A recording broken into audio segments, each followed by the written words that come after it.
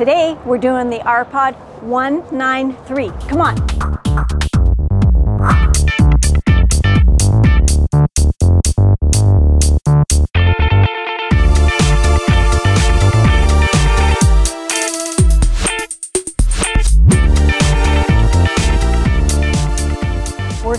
At South Thompson RV in Kamloops, British Columbia, Canada, and yep, we're gonna do the RPod 193. In the description, you're gonna find the links to the timestamps and the currency converter and those research materials that you can use too, as well as if you feel like it, buy us a coffee. Helps us to keep making videos. And we'll put a link at the end where you can click to the construction video to get all the information you want on the RPod. Let's start here at the front. You get your one 20 pound uh, propane tank. You do get a front glass window, which I have to confirm the, I would assume it's automotive grade glass because it doesn't have a cover, but I want to confirm that for you.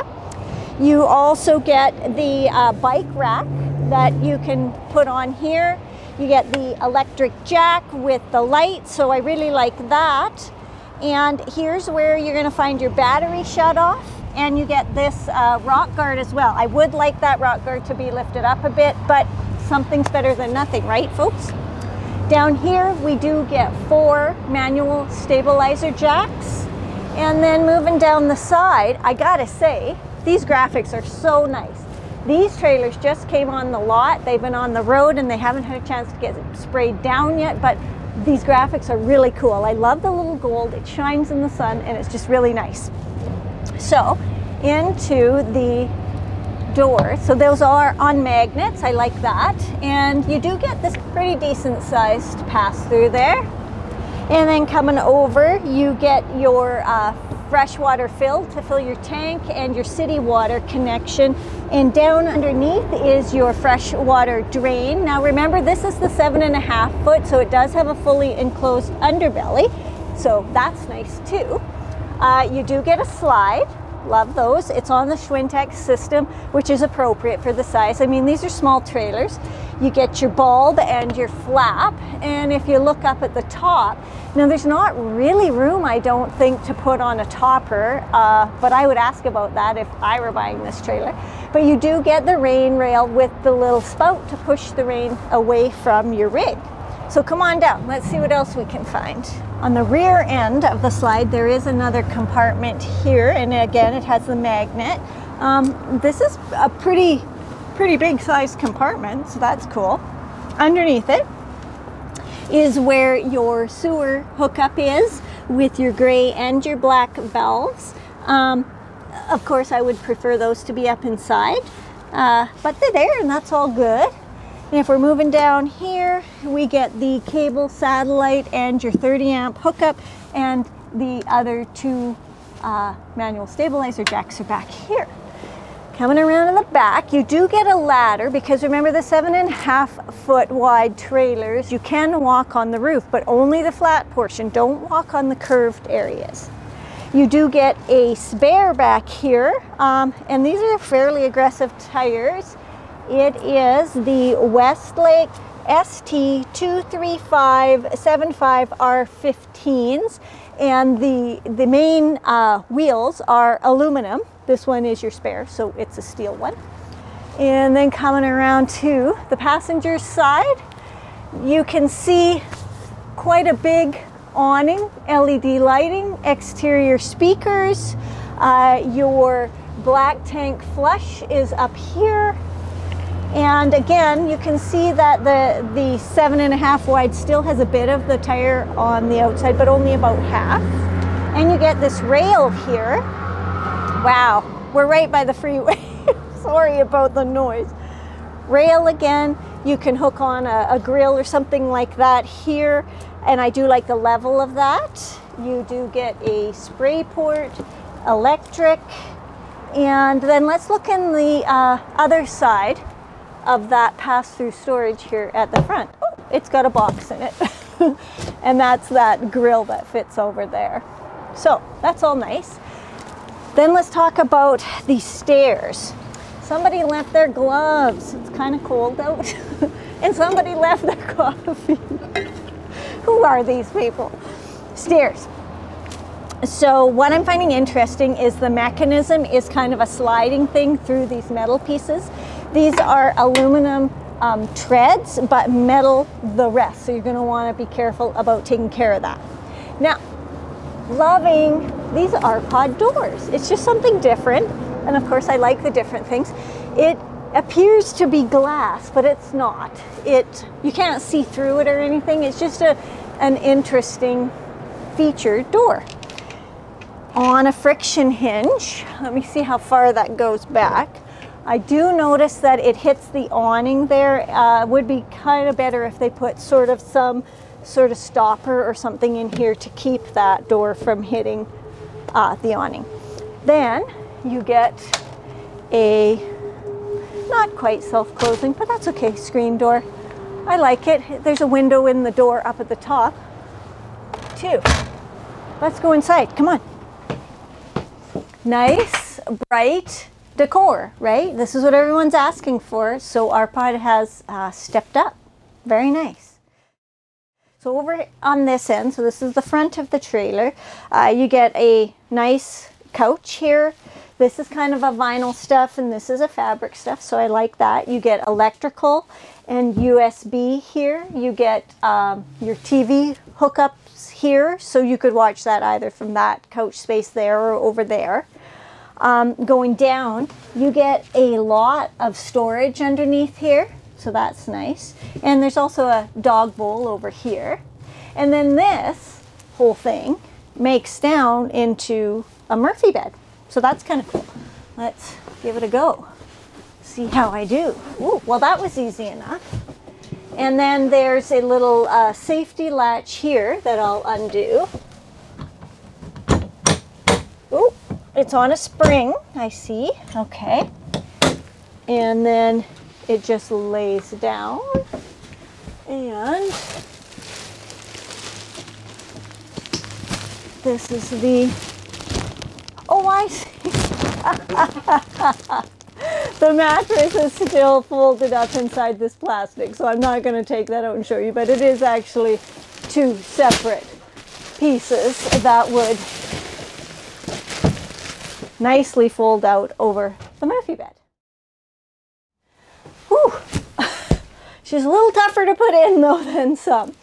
Um, so let's go try this one out because there's another couch seating area, dining area here.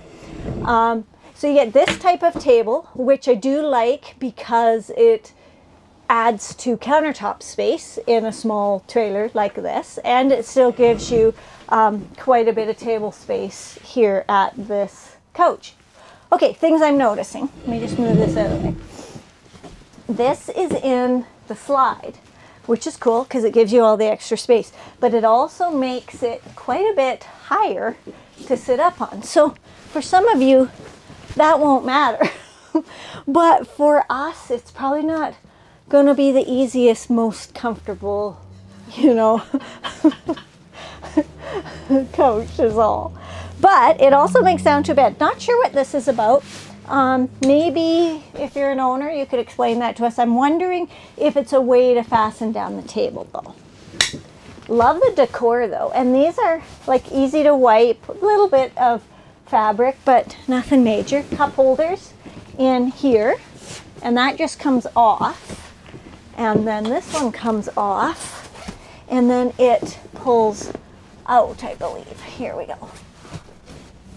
Oh, you know what? Maybe it's the whole that. There you go. Now we know what it's about. So it's a small bed. I mean, but you could you could put some kids here if you have that many kids because this is a bunk model. so, and then, I mean, it goes down pretty easy. You have to pull the back. This is what I've learned. You have to pull the back up to put the seat down. But, you know, it gives you quite a bit of extra space, and I like that. Above, you get some nice cabinetry, and I like this light cabinet with a little bit of dark in the handles and that kind of thing. It's got a little bit of decorative glass in there. Your window, shades, puck lighting, I believe these, yeah, single pane. So it's all pretty functional and nice. And then, um, like I said, you can use this to be part of the kitchen, which is next. Not a ton of countertop space, and the thing that I would recommend is some type of flip up counter from here.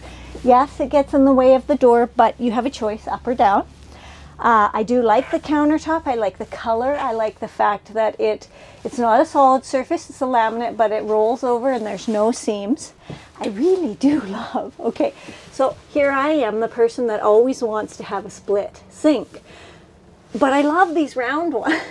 They're not split. So it does make, you know, draining the dishes, that kind of thing, a bit challenging. But this is a huge sink, nice tap. And it, it just seems pretty functional. Um, but again, not enough countertop space. But you do get the glass top, two burner, propane, suburban uh, stove, and then moving up, quite a bit of storage space here, but both Kory and I were kind of wondering about that because there's no doors on it.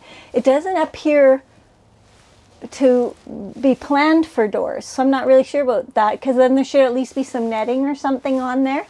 Um, so if anybody knows, we'd love to hear your thoughts on that.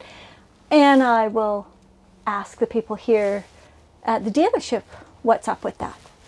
Going down, you get quite a bit of storage in there. I like that. And you get a convection microwave because of course you don't get an oven. And so that's a pretty decent size too. And then moving over, we get a quite a big Dometic fridge. I love its placement. I can reach everything. Uh, I'm going to say it's about a six cubic foot. And then um, over here, you get a mirrored pantry. So there's quite a bit of space there. Now these are not adjustable shelves, um, but you could put some bins and things in there because they're quite deep, right? So you can put all that kind of stuff in there and organize it however you like. Moving down, uh, you do get a furnace here and that's just going to heat the whole area. And you get a central vac. That's cool, right? Because this is very nice, uh, durable vinyl floor. And even with a slide, there is no carpet in here. I absolutely love that. So you can just sweep it up, sucker out, it's all good. Next, let's move over to these bunks. These are tiny bunks. but remember, we're in uh, a seven and a half foot wide trailer. They do have a weight capacity of 300 pounds. They've got the comfy mattresses. They both have windows. They'll both have lights and they both have USB. Um, but yes, I'll lay in here and show you just how big it is. I'm just going to move this little package out of the way and climb in here. Okay, so how's that? It's not bad, you know. Like, I'm not claustrophobic or anything. I could do it. So, just so you know. And then there's this one too, which is even more open, I think. Also, over to this side, I just wanted to point out there's another cabinet with mirrors. Oh, look at what it's got. I love these. You know I love these. I love pullouts. Isn't that nice? And there's two of those plus closet rod space. So nice. And then let's go back and check out the bathroom. Here we are in the bathroom. A few things. Uh, you get a Thetford plastic foot flush toilet there's also quite a nice uh, amount of storage stacked over here. And then you get this, and this is interesting. It's quite a big shower this way.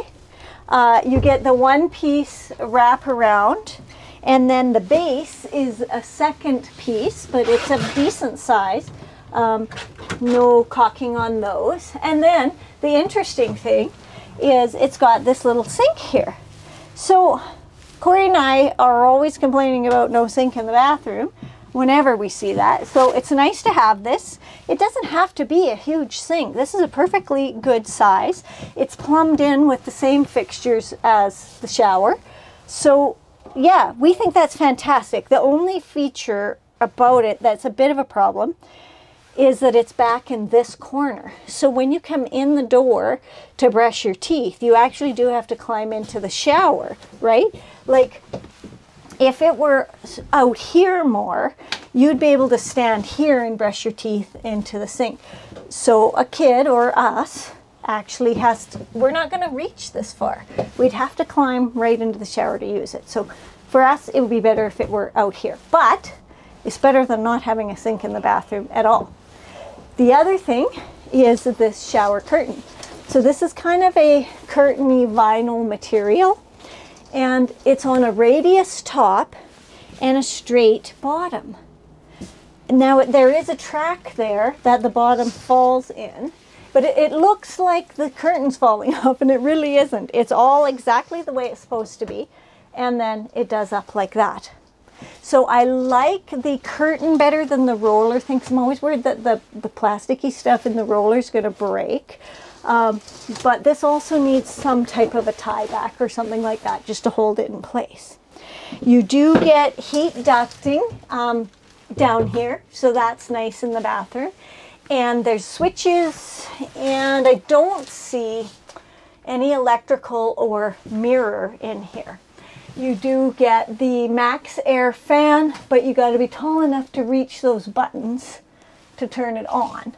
And then coming out on the rest of this ceiling, you get lots of LED lighting, which I love. Not blingy, not a ton to keep clean, but lots of good light. You do get the AC here, um, which doesn't need to be ducted because it's going to cool off this whole space with no problem. And there's speakers there as well.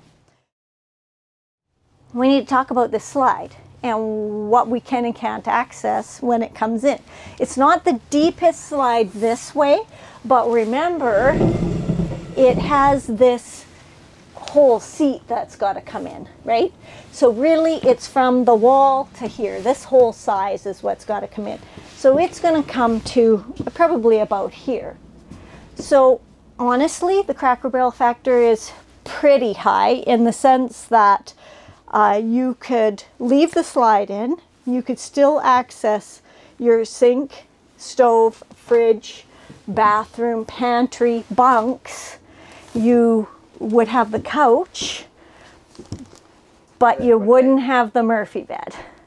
So you could make this down into a bed, but remember it's kind of a smaller bed. And then you've got this. So it depends on you. Depends on how many people you're actually putting in here and which things you need. It's a it's a pretty high cracker barrel. You just can't use that Murphy bed is all. So nice trailer. Let's take a look at what the numbers are. Numbers for the 2021 RPod 193 are, this particular one has a GVW of 4,835 pounds and a cargo carrying capacity of 995 pounds. And the rest of the numbers. So exterior length, 22 feet 11 inches. Uh, the exterior height, 9 feet 10 inches. And this is a little taller because it's the Hood River edition, so it's got more clearance. The exterior width, 96 inches because it has that 8 foot wide axle but remember the house portion is seven and a half feet wide. And then all the tanks are at 30 gallons and the awning on the outside was a 10 foot awning. Oh, let me tell you the bed sizes. So this Murphy bed makes down into a 60 by 74 bed and those two bunks back there are 26 by 74.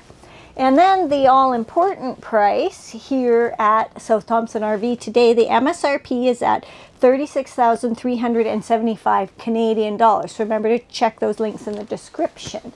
So I hope you liked it. I mean, they've really come up with a nice light decor that I really like. So if you did, give us a thumbs up, Don't forget to hit the subscribe. And if we've given you some value here, please feel free to buy us a coffee. It helps us to keep doing what we're doing. We'll put a link in the end so that you can also see the construction video and maybe come along on an adventure or something like that with us too. We love having you along. Thanks for watching.